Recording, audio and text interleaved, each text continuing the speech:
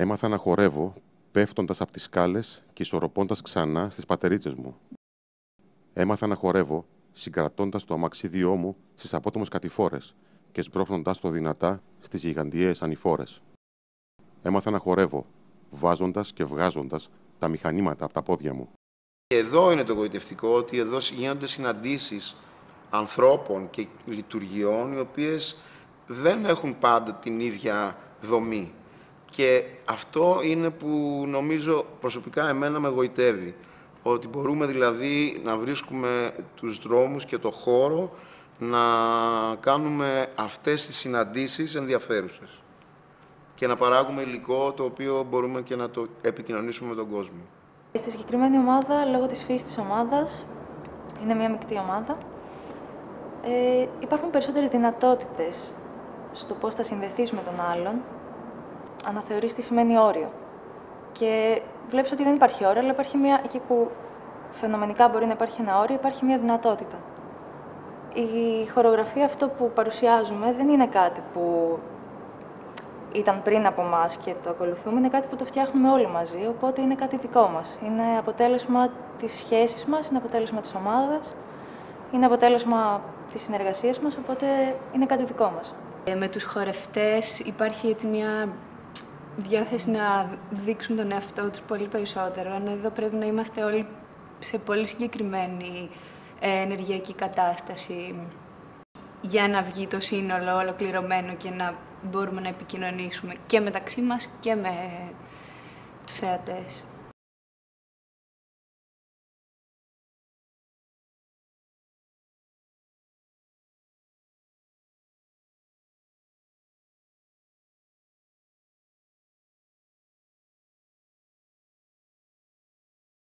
Έμαθα να χορεύω μετακινούμενο στο πάτωμα για να πιάσω την μπάλα που μου πέταξε ο φίλος μου. Έμαθα να χορεύω, σκορπίζοντας τους φόβους της έκθεσής μου στον κόσμο. Έμαθα να χορεύω, ανοίγοντας καινούργια μονοπάτια επικοινωνίας με το σώμα μου. Εμπλέκονται σε ένα παιχνίδι κίνησης, αποδεικνύοντας ότι στο πλαίσιο της ανθρώπινης ποικιλομορφίας οι όποιες ιδιαιτερότητες μπορούν απλά να μετουσιωθούν σε τέχνη. Η αναπηρία απλώς υφίσταται, επειδή δεν μπορεί να εξαφανιστεί και να αρνηθεί ο χορευτής και ο θεατής την ύπαρξή της. Η διαφορά είναι στον αθλητισμό. Ήταν, ήταν ατομικό το άθλημα ε, και εδώ είναι ομαδικό. Ο χορός είναι ομαδικό. Συνεργάζεσαι με όλα τα παιδιά. Αυτή είναι η διαφορά. Ο χορός είναι, είναι διασκέδαση, κάνουμε και χαβαλέ, αλλά, αλλά είναι, σου δίνει άλλη χαρά. Οποιοςδήποτε άνθρωπος που μπορεί ακόμα να κουνήσει έστω και το μικρό του δαχτυλάκι, μπορεί να δώσει κάτι. Όλοι εν γέννη μπορούν να χορέψουν είτε είναι παχύσαρκοι, είτε είναι κοντοί, είτε είναι ψηλοί, είτε είναι επαγγελματίες χορευτές που ε, αυτή είναι η δουλειά τους. Ε, είτε όχι, νομίζω ότι μπορούν μέσα, από μια, μέσα σε ένα συγκεκριμένο πλαίσιο φυσικά και με κάποιο συντονισμό από, που πρέπει να υπάρχει, έτσι κι αλλιώς, μπορούμε όλοι να δώσουμε ένα κομμάτι του εαυτού μας πάνω στη σκηνή και στο σύγχρονο χορό.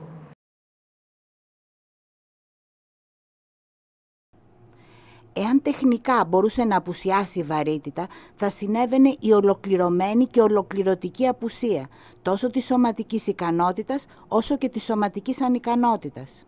Με έχει γοητεύσει αυτό, γιατί δεν το είχα συναντήσει νωρίτερα. Ε, είχα μάθει σε έναν άλλο τρόπο διδασκαλίας και σε έναν άλλο τρόπο χορού ε, και πλέον έχω προσαρμοστεί σε άλλα δεδομένα, τελείως διαφορετικά, καινούρια και θεωρώ ότι είναι πολύ καινοτόμο όλο αυτό που γίνεται μέσα σε αυτήν την ομάδα. Εγώ ήθελα να μπω σε αυτή την ομάδα γιατί το θεώρησα πολύ ιδιαίτερο, πολύ ενδιαφέρον. Αρχικά το θαύμασα και το σεβάστηκα. Βλέπεις πως όταν υπάρχει η δύναμη και η θέληση, καταρρύπτονται όλα και γινόμαστε όλοι ένα. Και θεωρώ ότι είναι και πολύ όμορφο αυτό να περαστεί στον κόσμο που έρχεται και το βλέπει. Φέρνουν κάτι νέο, που μετά το πρώτο ξάφνιασμα γίνεται εύκολα οικείο μέσα από τη συνεχή απογυμνωμένη επαφή και διάδραση μεταξύ των χορευτών, αναπήρων και μη. Δεν ξέρω αν μετά την παράσταση φεύγει καλύτερος ή όχι κάποιος που την έχει παρακολουθήσει, αλλά σίγουρα έχει πάρει πολλή δουλειά για το σπίτι. Έχει προβληματιστεί αρκετά. Έχω ακούσει πάρα πολλά. Ήταν ένα μάθημα ζωής, είδαμε ψυχές να χορεύουν. Εγώ διαφωνώ σε όλα αυτά. Το λυτρωτικό μυστήριο της σωματικής επαφής σε όλο του το μεγαλείο.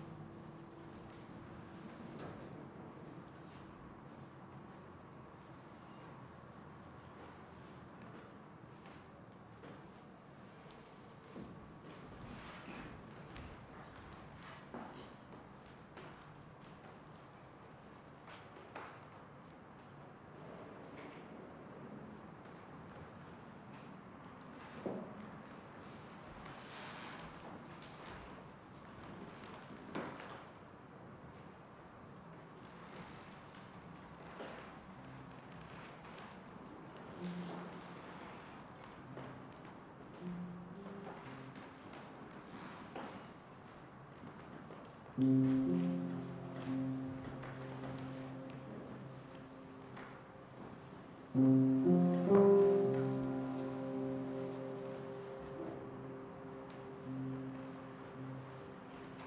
-hmm. you.